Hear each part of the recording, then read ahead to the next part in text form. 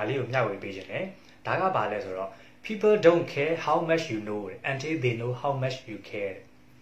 အဲ့ဒီစကားလေးက people don't care how much you know သင်ဘလောက်သိတယ်ဆိုတာကိုသူတို့ကဂရုမစိုက်ဘူးလူတွေကမင်းဘလောက်တော်တယ်မင်းဘလောက်တက်တယ်မင်းဘလောက်သိတယ်မင်းဘလောက်ဆရာကြတယ်အဲ့ဒါကိုသူတို့သိချင်တာမဟုတ်အဲ့ဒါကိုသူတို့ဂရုမစိုက်ဘူးသူတို့သိချင်တာပါလေမင်းဘလောက်ဂရုစိုက်တယ်လဲပဲသူတို့လိုချင်တာမင်းဘလောက်ဂရုစိုက်တယ်လဲပဲသူတို့လိုချင်တာ ဟုတ်တယ်မလားဒီလိုပဲမင်းရဲ့ထုတ်ကုန်ဘလောက်ကောင်းတယ်မင်းရဲ့ဈေးကဘလောက်ထိအဆင်ပြေတယ်ဟုတ်ပြီနော်မင်းရဲ့အလုပ်ကြီးကဘလောက်ကောင်းတယ်မင်းလုပ်ငန်းကဘလောက်ကြီးမားတယ်ကာစတမာတွေကဒါတွေမကြားချင်ဘူးကာစတမာတွေလိုချင်တာကာစတမာတွေသိချင်တာကမင်းသူတို့ကိုဘလောက်ဂယုစိုက်တယ်လဲဆိုတာကိုပဲသိချင်တာငါတို့ကိုဘလောက်ခဲလုပ်တယ်လဲဒါကိုသိချင်တာဟုတ်တယ်နော် အဲ့လိုမျိုးဖြစ်တယ်ဒါကြောင့်ယနေ့ခေတ်စီးပွားရေးလောကရဲ့အပြိုင်ဆိုင်မှာကျွန်တော်တို့က product ထုတ်ကုန်ပစ္စည်းကိုပဲကျွန်တော်တို့ပြိုင်လို့မရတော့ service ဝန်ဆောင်မှုပါကျွန်တော်တို့ပြိုင်ရဝန်ဆောင်မှုပြန်နော်တာမန်လုပ်ငန်းလုပ်တဲ့သူတွေကဘာကိုလိုက်ပြိုင်နေလဲဆိုတော့ထုတ်ကုန်လိုက်ပြိုင်လိုက်ပြိုင်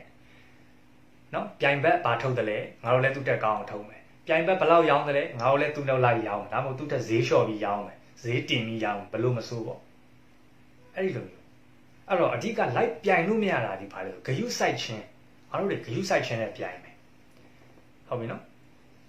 ပြိုင်ဘက်ကနော်ငါတို့ထက်ထုတ်ကုန်တာရင်တာလိမ့်မယ်ဒါပေမဲ့သူတို့ထက်ငါတို့ကဂယုဆိုင်မှုပိုတာတယ်ဖောက်တယ်တွေကိုဂယုဆိုင်မှုငါတို့ဟာအတာဆုံးဖြစ်ရမယ်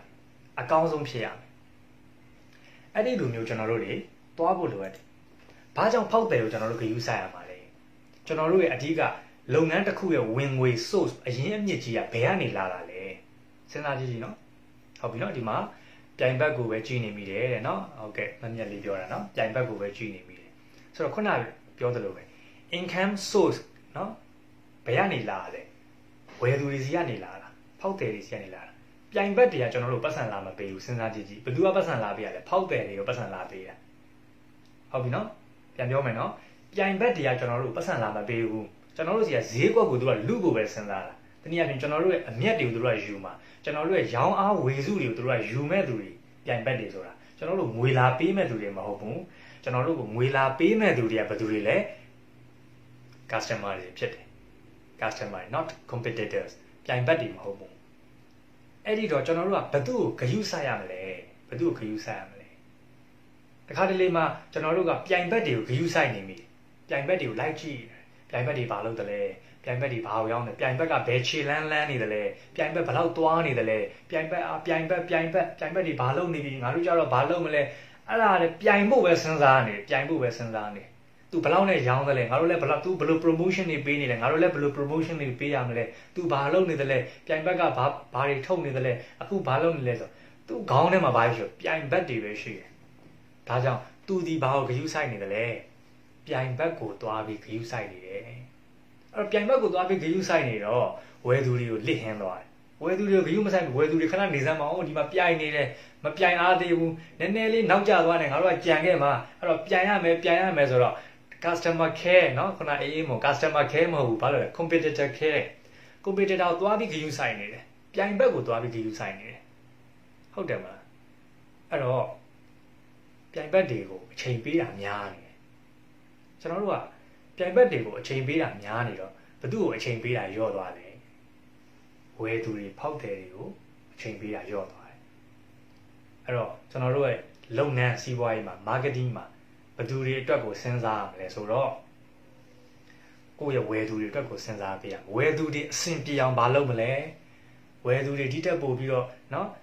ပြဿနာတွေကိုအကောင်းဆုံးဖြေရှင်းနိုင်အောင်ဘာတွေလုပ်ပေးမလဲဝယ်သူတွေဘယ်လိုဂရုစိုက်မလဲဝယ်သူတွေဘယ်လိုကျေးဇူးတုံ့ပြန်မလဲဝယ်သူတွေကိုဘယ်လိုထိန်းထားမလဲဝယ်သူတွေကိုဘယ်လိုမျိုးเนาะဟို promotion တွေပေးမလဲဝယ်သူတွေကိုစိတ်ချမ်းသာအောင်ဘာတွေလုပ်ပေးမလဲဝယ်သူတွေကိုပျော်အောင်ဘာတွေလုပ်ပေးမလဲဝယ်သူတွေစိတ်ကျေနပ်အောင်ဘာတွေလုပ်ပေးမလဲအဲ့တော့ကျွန်တော်တို့ရဲ့ခေါင်းထဲမှာကျွန်တော်တို့ကိုအဓိကဝင်ငွေပေးမယ်ကျွန်တော်တို့ရဲ့ထမင်းရှင်ဖြစ်တဲ့ဂျေဇုရှင်ဖြစ်တဲ့ဖောက်တယ်တွေဒီသူတို့အတွက်ကိုကျွန်တော်တို့ကစဉ်းစားရမှာဖြစ်ပါတယ် ဟုတ်ပြီနော်စဉ်းစားစဉ်းစားရမယ်ဖောက်တယ်တွေအတွက်ပြန်ပြီးတုံ့ပြန်ပါအဲ့ဒီလိုပဲနော်တူကမေတ္တာတူကစေတနာဖောက်တယ်တွေပေါ်မှာကျွန်တော်တို့မေတ္တာထားဖောက်တယ်တွေကလည်းကျွန်တော်တို့ပေါ်မေတ္တာထားတယ်ရောင်းသူနဲ့ဝယ်သူအပြန်အလှန် relationship ကောင်းနိုင်ဆိုတော့ customer relationship ဆိုတာအဲ့ဒါကိုပြောတာ customer relationship customer ကျွန်တော်တို့ကထိန်းထားရမှာဘာနဲ့ထိန်းထားရမလဲ customer ကိုနော် customer ကို customer ကိုကျွန်တော်တို့ကဖမ်းချုပ်ပြီးကြိုးတုပ်ထားလို့မရဘူးငါစီကနေပဲဝယ်ရမယ်နင်သူများစီမှာသွားမဝယ်ရဘူးအဲ့လိုမျိုးထိန်းထားလို့ရလားဘယ်လိုလုပ်ရမလဲ customer ဆိုတာသူ့စိတ်နဲ့သူကြိုက်တာသူဝယ်မှာပေါ့ရွေးချယ်စရာတွေလောကမှာအများကြီးပဲကိုယ်စီယာကြီးပဲဝယ်နေမှာမဟုတ်သူများစီယာလည်းသွားပြီးတော့ဝယ်မှာဟုတ်တယ်မလားဒါပေမဲ့ကျွန်တော်တို့ကသူတို့ကိုအကောင်းဆုံးသောဂရုစိုက်ခြင်းနဲ့အကောင်းဆုံးသောဝန်ဆောင်မှုတွေစေတနာကောင်းတွေမေတ္တာကောင်းတွေပေးထားပြီဆိုအဲ့ဒီအရာတွေနဲ့ customer ကိုကျွန်တော်တို့ကချီနှောင်ထားတာဖြစ်တယ် ဒါ customer တွေကိုချီနှောင်ရမယ့်အကောင်းဆုံးကြိုးတစ်ခုဖြစ်တယ်ဟုတ်ပြီနော်ကျွန်တော်တို့နိုင်လွန်ကြိုးတွေလည်းမရဘူးတန်ကြိုးတွေလည်းမရဘူးဘာကြိုးနဲ့မှ customer တွေကိုချီပြီးတုံနှောင်ထားလို့မရဘူးကျွန်တော်တို့ချီပြီးတုံနှောင်ထားလို့ရတာဒီဂယုစိုက်ခြင်းတန်ရောစဉ်မေတ္တာစေတနာကျေးဇူးဆက်ခြင်းဟုတ်ပြီနော်အဲ့ဒီအရာတွေနဲ့ချီနှောင်မှာဖြစ်တယ်ဒါကိုဘာလို့ခေါ်လဲဆိုတော့ဒါဒီနှလုံးသားကိုချီနှောင်ခြင်းလို့ခေါ်တယ်နော် စကလုံးလှလှလေးနဲ့ပေါ့နော်စာရေးဆရာဆိုတော့စကလုံးလှလှလေးသုံးရတာပေါ့နော်အဲ့တော့ business မှာအဲ့ဒီအမှုပညာဆန်ဆန်လေးတွေလည်းသုံးရင်ပို့ပြီးတော့ကောင်းတာပေါ့နော်။ဘာလဲလဲနှလုံးသားကိုချီနှောင်ခြင်း customer ကိုနှလုံးသားကိုဘာလုပ်ရမလဲချီနှောင်ရအခုလိုဗီဒီယိုလေးတွေကိုအမြဲအားပေးခြင်းနဲ့ဆိုလို့ရှိရင်တော့ကျွန်တော်ရဲ့ YouTube channel လေးကို subscribe လုပ်ထားဖို့အတွက်ဖိတ်ခေါ်ပါတယ်အားလုံးကိုကျေးဇူးတင်ပါတယ်